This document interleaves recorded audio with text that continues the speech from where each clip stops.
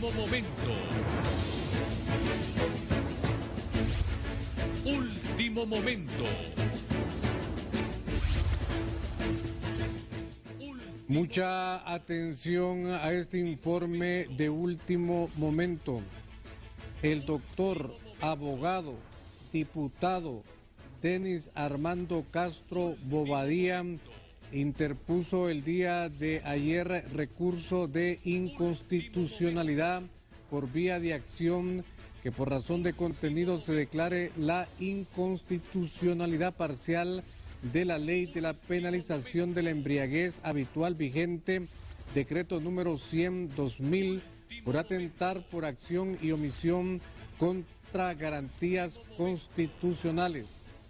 Este escrito dice, Honorable Sala Constitucional de la Corte Suprema de Justicia, yo, Denis Armando Castro Bobadía, doctor, médico cirujano, abogado, diputado, casado, inscrito en el Colegio de Abogados de Honduras con el número 9066, hondureño, con tarjeta de identidad, da el número de tarjeta de identidad y de este domicilio accionando en mi condición personal y en mi calidad de vicepresidente del Congreso Nacional, señalando como dirección para recibir notificaciones la oficina de vicepresidencia del Congreso Nacional, con muestra de mi habituado respeto comparezco ante esta honorable sala de lo constitucional a interponer el presente recurso por inconstitucionalidad, por vía de acción, por motivo de contenido en contra de cierta disposición de la ley de la penalización de la embriaguez habitual, decreto número 100-2000,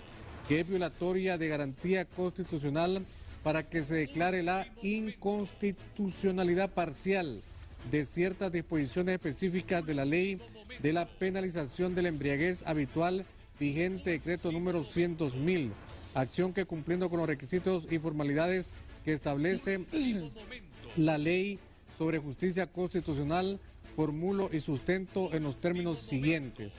Y desde luego da las argumentaciones necesarias por qué se pide que se declare de manera parcial la inconstitucionalidad de esta medida. Y de acuerdo a él, quien debe de hacer estas pruebas de alcoholemia no es un policía de tránsito, sino que tiene que ser un médico, tiene que estar presente un médico en estos operativos. ¿Qué piensa usted? O sea, no sería entonces suspender las pruebas de alcoholemia, sino básicamente que ya no la realicen los efectivos de tránsito y que pongan en cada operativo a un a un doctor, a un doctor, a un, médico, Ajá. A, un, profesional de la medicina. Mm, pero ¿y cuántos se necesitaría contratación? ¿Cuántos operativos se hacen?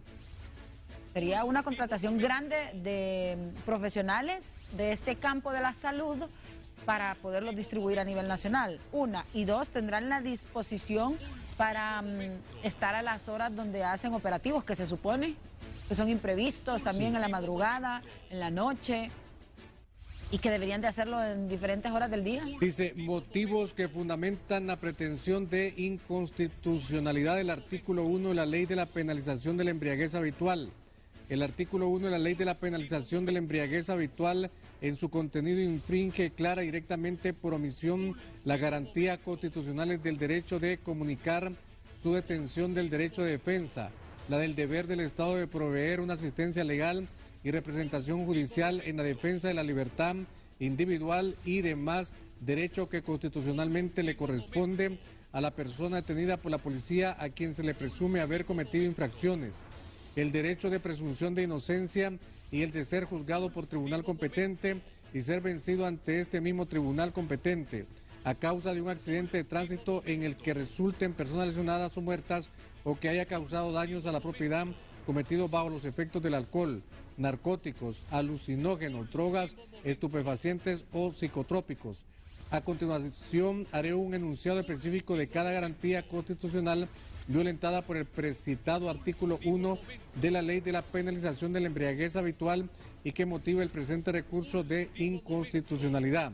Primer motivo, violación del derecho de comunicar su detención y de ser informado en el acto de sus derechos y de los hechos que se le imputan.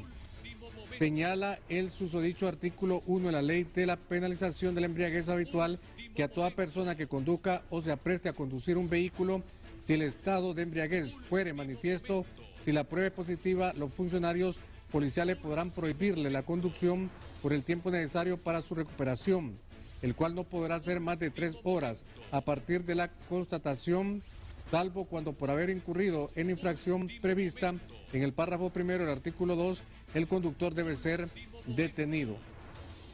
Bueno, y dice, segundo motivo, violación del derecho de defensa, dice violación del derecho a asistencia legal, violación del derecho al debido proceso.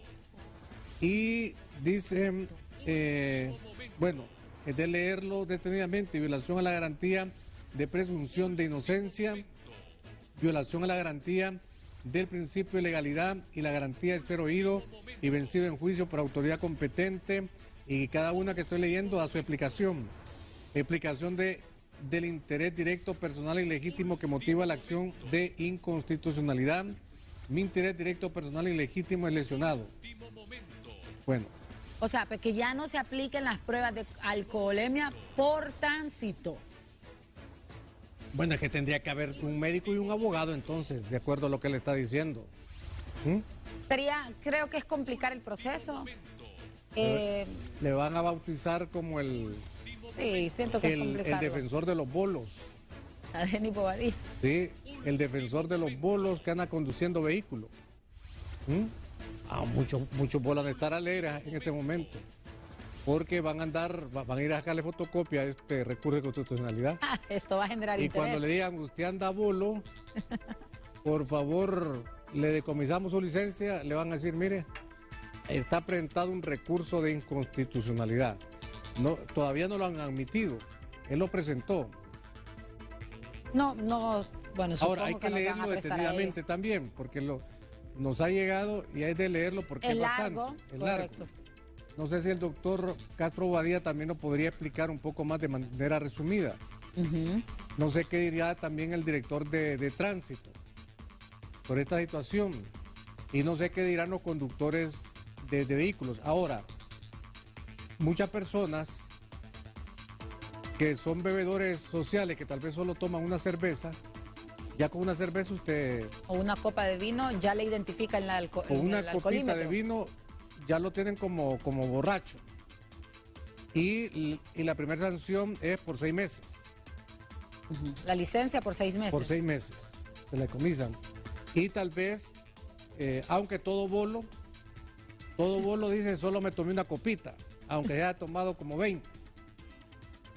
Pero, ¿qué dicen los conductores? ¿Qué dicen los conductores sobre esta situación? Vamos a marcar unas cinco llamadas así de manera rápida porque tenemos también otras noticias eh, hay un acto en este momento sobre la empresa privada, también hay noticias de último momento ahí, pero ¿qué dicen también los conductores o algunos que han sido sancionados sobre esta situación? Sobre esta situación, vamos a sacar llamadas telefónicas en este instante, así de manera rápida, rápida, porque el tiempo también avanza.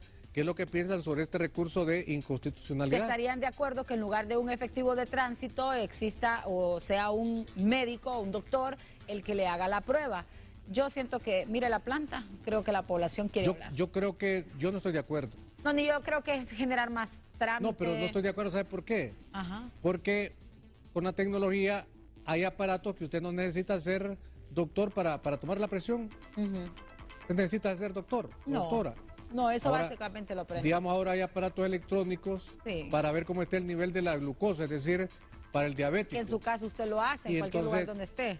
Es decir, con solo un conocimiento de, los números y que le digan cuál es el rango, que si se pasa de tal, de tal, eh, de tal cantidad, eh, eh, está con, mucho azúcar, pero si se mantiene en un rango, entonces solo, solo le, le, dan la prueba ahí con, unos aparatos caseros que hay ahora con el y no necesita ser doctor.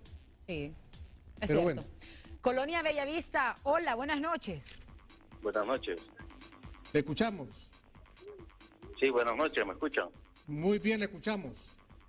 David Carrasco le, llama. Dígame, David Carrasco. Sí, eh, no, estoy viendo que el doctor Lenín Castro Bobadilla tiene buena buena proposición en el sentido de que eh, habemos muchas personas de que tal vez somos, como decía usted, tomadores ocasionales o tomamos una o dos cervezas y tal vez andamos haciendo un festejo familiar o de trabajo y salimos y a la vuelta está el operativo y nos aplican la prueba de alcoholimia, eh, realmente nos vemos afectados porque eh, principalmente son seis meses de cancelación de la licencia y segundo son tres mil, casi cuatro mil empiras que se pagan de la multa y tal vez por, por haberse tomado una o dos cervezas. Y hay gente que sí, realmente es debido a que se le aplique porque a veces hasta se duermen conduciendo y provocan accidentes y a veces Sí. hasta matan personas, ¿verdad? Entonces, Eh, usted- esa, es mi, usted esa es está- mi opinión al, al respecto. Sí, bueno, muchas gracias. Y me dice, Cecia, es- yo estoy de acuerdo, dice, en vista de que los de tránsito son pícaros y para que les den mordida dan la prueba de alcoholemia positiva, aunque no se haya tomado No, no, no. nada. Esa- yo no conduzco, pero he visto injusticias. No, no, eso, ese aparato no miente. Si tiene un poquito de alcohol, ahí se lo detecta. Ahora, la ley de... de, de No hay manera de manipularlo. Pues no, pero, pero, pero, pero ahí, ¿cómo se llama? Lo que le da ahí, eh, si usted anda tomado, anda tomado. Ahora, yo no estoy de acuerdo, el que conduce no debe de manejar. Ya sea una No, no, no. o dos El que cervezas. conduce no debe de beber. El que conduce, sí, no debe de... Correcto. Está bien.